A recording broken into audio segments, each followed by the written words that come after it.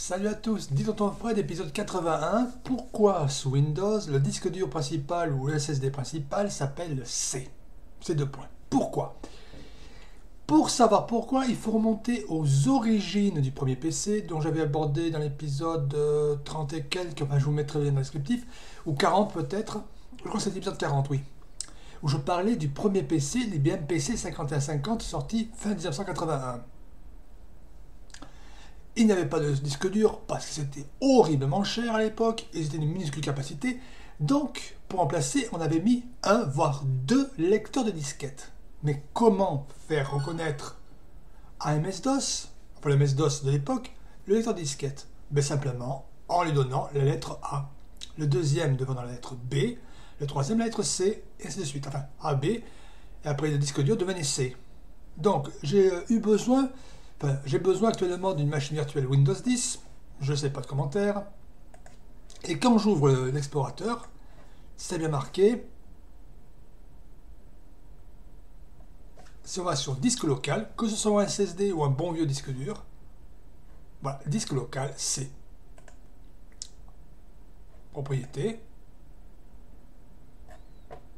Non, il me dit que c'est un disque C, voilà, matériel qui se trouve, euh, voilà, c'est classique, bref.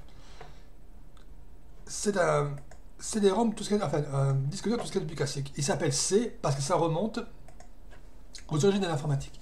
Donc, je vous disais, il y avait un à deux lecteurs de disquettes. D'ailleurs, si on regarde souvent, dans les années 70, il y avait peu ou pas de disques durs, donc les PC, enfin les ordinateurs de l'époque, que ce soit les Apple, que ce soit les Commodore et compagnie, étaient soit fournis avec lecteur de cassette, soit avec un lecteur de disquette. Et petite dégression rapide, les lecteurs de disquettes à l'époque, c'était au format 5 pouces 1 quart, c'est-à-dire une espèce de carré, euh, enfin, une espèce de disquette souple, dont le disque à l'intérieur faisait 5 pouces 1 quart de diamètre, 13 cm si vous préférez. Et côté capacité, ça faisait 360 kilo-octets, soit en gros, il fallait 2,7 disquettes, 2,7 à 2,8 disquettes pour avoir 1 méga. Mais pour une clé de 8 gigas combien il fallait de disquettes Donc j'ai fait un calcul rapide. Voilà. La disquette 5 pouces 1 quart au grand maximum en 1980 pour le premier PC, elle faisait 360 kilooctets. Il fallait 2,8 disquettes pour 1 méga, 2,7 ou 2,8, soit 2700 à 2800 pour 1 gigaoctet, 1000 fois plus, soit pour une clé de 8 gigas, pour ça, il aurait fallu avoir 22 800 disquettes en 1981 pour les mêmes capacités de stockage.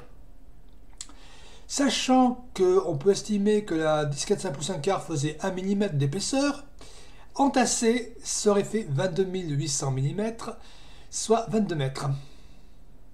22 ou 23 mètres.